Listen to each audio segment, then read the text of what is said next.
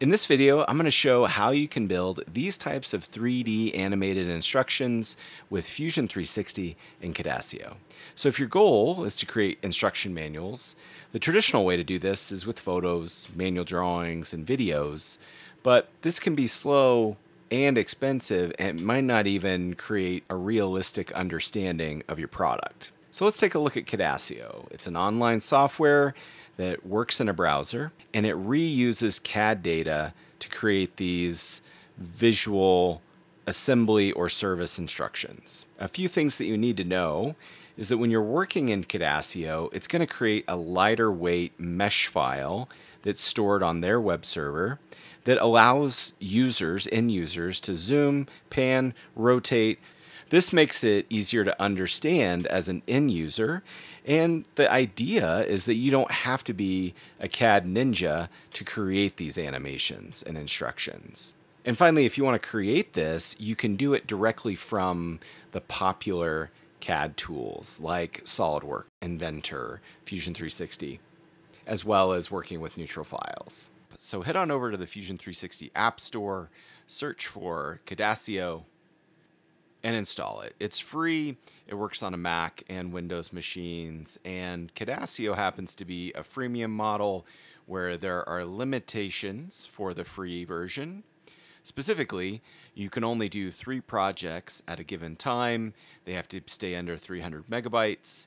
And there's some features that are only turned on for the paid model. But everything I'm going to be showing today's tutorial is the free version, which is pretty impressive.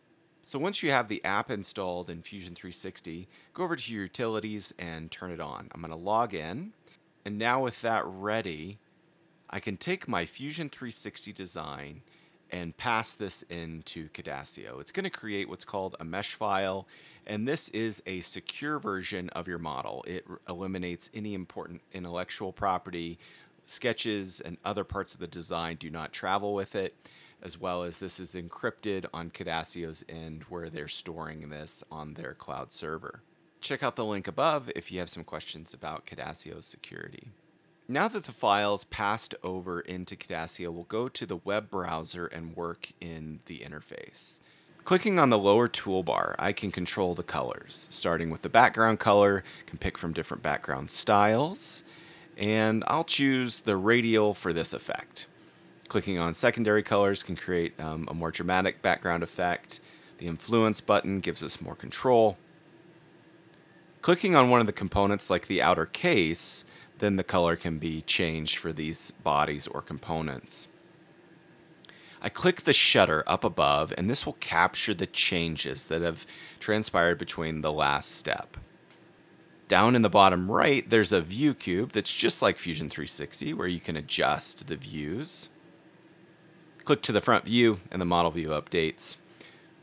Over on the right is a selection tree, and this allows you to click and expand and show all the bodies and components under the CAD heading. So expand and ex inspect the whole CAD structure right here. Clicking on these models, you can uncheck and hide. And now back to the lower toolbar. Change the visual appearance to edge style or adjust the silhouette to refine the style to get it just how you want it. Over on the left, there's a toolbox icon, and clicking this opens up a series of 2D and 3D tools that you can use. And so I'm going to click label, and this is an intelligent label maker. You can see that the blade is recognized. There's no need to type that in. That travels from the Fusion 360 model. Now for hiding some more components in the CAD menu, uh, I'll click that and hide.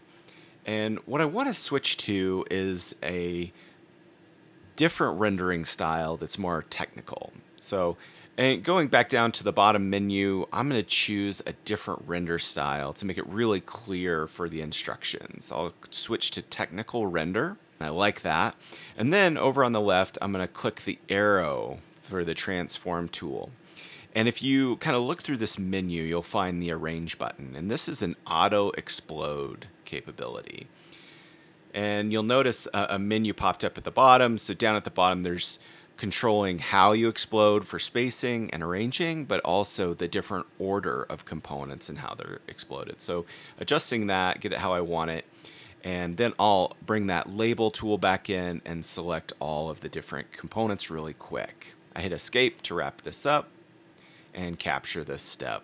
One thing that I really like in Cadasio is the ability to bring back a, a, previous step and reuse it or get back to that state. So rather than go back and uh, kind of turn on the visibility for everything I've adjusted and changed, I can go back to an earlier step of how I want it and click to add this as the latest step and save me some time. Over on the in the menu items on the left, there's a tool that is the wrench with a gear, and this exports as well as has some other table tools. So clicking the table will create an intelligent bill of materials that I can overlay. And finally, um, I can export all of this as a video file or a GIF to share. Okay, a few things that I've failed to mention about Cadasio.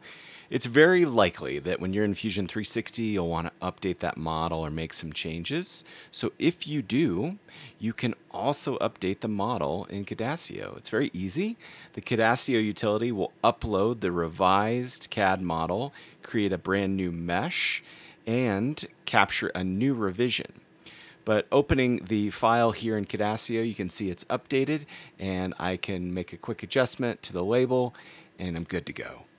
And once you're happy with your project, you can export your steps as images, you can save an animation, or you can even share the actual project. As long as someone has a mobile device, something with a browser, they can view it. And this 3D interactive presentation should be a lot more clear and should show off your instructions and procedure. You actually can host a 3D design file easily on the web. This is something that's actually still kind of tricky today. So you can do that, um, as well as Cadasio has a series of tools for learning their technology, different tutorials that are built in, some cool showcases that you can play with for inspiration, and other resources uh, over on their website. I'll be sure to link that down below. Uh, so yeah, let me know in the comments down below what you think of this tool and if this is uh, you know a challenge that you've actually bumped into where you need to create these types of instructions. I'll see you guys in the next video.